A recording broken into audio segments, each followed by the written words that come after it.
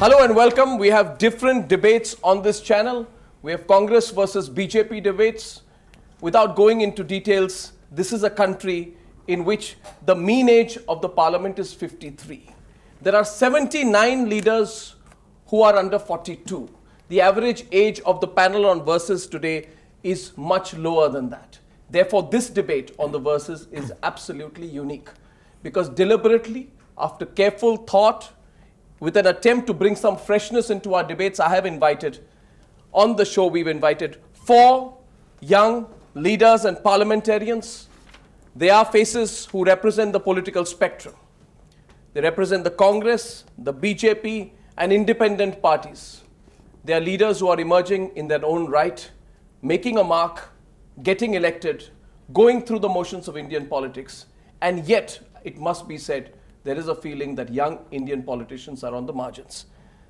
The subject for this Versus is Does this group of young politicians have any new vision for India beyond the demographics? Beyond their being relatively young, what newness do they bring? Let me welcome from my right Kalikesh Singh Deo, young member of parliament of the BJD. Kalikesh, it's great to see you. I've been seeing your average performance in parliament. It's fantastic. Thank you and congratulations, Kalikesh. To his right is the very aggressive, upcoming. You see him at all the processions that the BJP has led. Recently, you saw it in Jammu and Kashmir. He's on the BCCI. He's made his mark from Himachal Pradesh. I have Anurag Thakur. Fantastic, Anurag. Thank you very much. Your record in Parliament as well is exceptional. To my left is Naveen Jindal, young member of Parliament, a little more shy, they say, a little quieter, not as aggressive, I must say, as some of the other relatively young MPs that who are there in Parliament.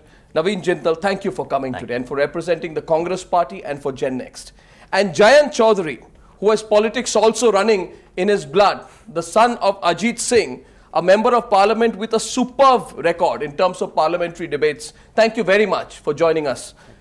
I'll set this open by saying that I don't believe that acrimony and rancor needs to be the tone of this debate. However, feel free to disagree. Just because you are young, you don't need to be on the same page as each other. Let me start with you, Naveen. Not a charge, but a perception I have. Tell me if I'm wrong. Young leaders yes. in India are on the margins. Young leaders like you are there in parliament, but relatively on the margins. In Britain, people at your age are gunning for the prime ministerial position. In America, by the age of 45, genuinely, people are making their candidacy for president. What's going wrong here? Why are young leaders on the relative margins? Arnab, I won't say that uh, young leaders are here on the margin, but what you said, uh, the difference between US, UK and India, it is also cultural.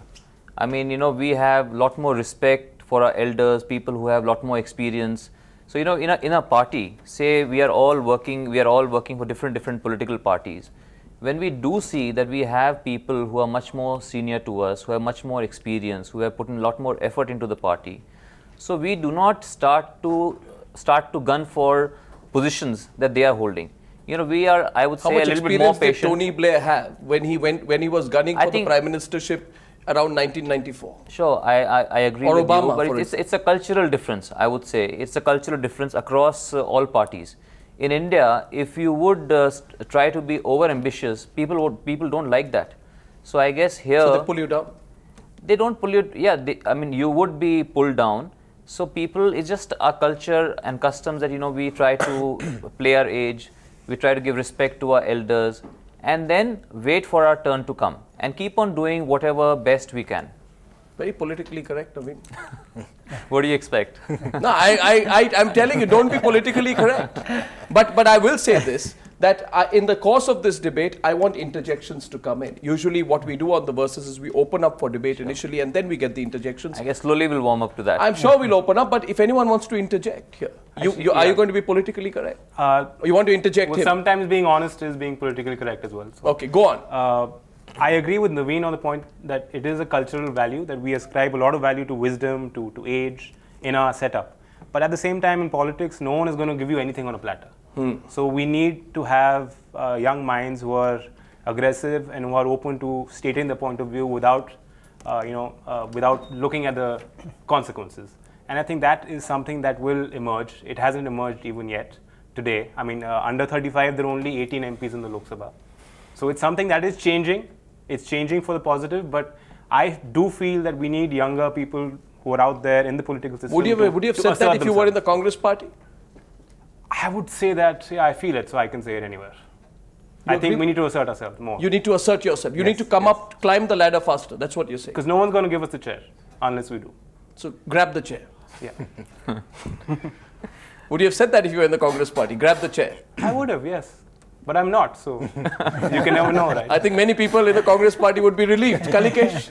No, I think the way the party system is structured in India also has an impact on uh, not allowing youngsters to come into positions of decision making. Yes. Be it in the party or be it in the government. Even though voters tend to vote for younger people, the party structure is still controlled by people who are fairly senior. And in politics, nobody lets goes. I think uh, if you take a, if you, t- I, I'm, people have taken uh, uh, many opinion polls, and a lot of them say that Rahul Gandhi should take over the Congress. Um, if that is the case, then he should be allowed to take over the Congress.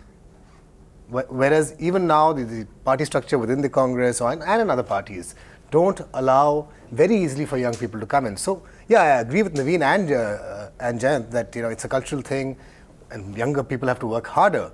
I think we also have to reform our political structures. I think we do. Anurag, is it different in the BJP?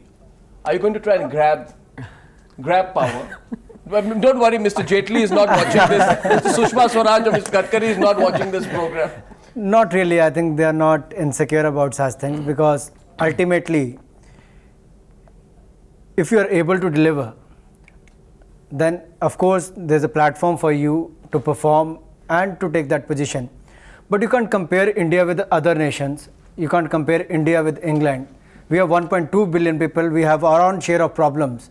But at the same time, there is enough opportunity.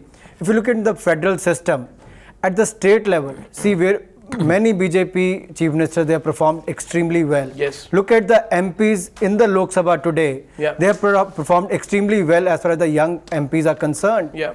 So I think with the period of time, you are more mature. You are in a position to deliver in a much better and effective manner. I think let us give some time to the young MPs. In the meantime, the democracy will also mature. In the meantime.